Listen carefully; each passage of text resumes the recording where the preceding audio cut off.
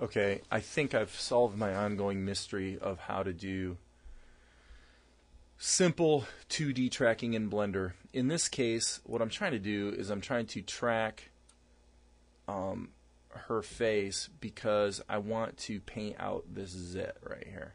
She's got a zit. And so, anyway, I've got a good track.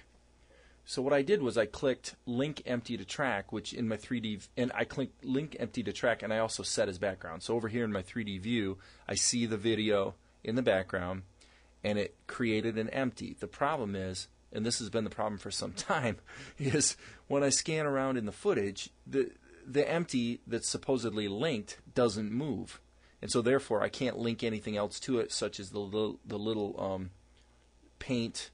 Um, swatch that I'm going to put over this in order to erase the zit. So here's the reason for that apparently.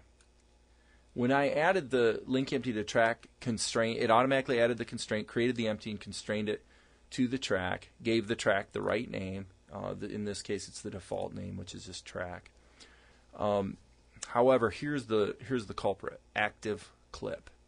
If I don't know why, but if active clip is selected, this clip that we see here and that we see here is not apparently the active clip. What I have to do is unclick that so that an actual movie clip shows up here and I select the one that was selected over here. And now all of a sudden, magically, wango bango, my empty starts moving with the footage. Okay? Um, I have absolutely no clue why I have to unclick active clip um, I'm sure it's probably something simple, and maybe I'm an idiot and can't figure out.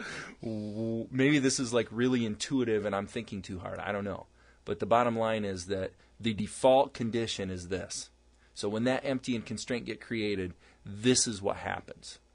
Why would that be the default? It seems to me that the logical default would be to create the empty, constrain it to the marker, and have it actually move when you scan through your footage.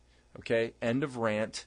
The point is, here's the fix. Just click that, and your tracker will come to life, and you can start linking things to it.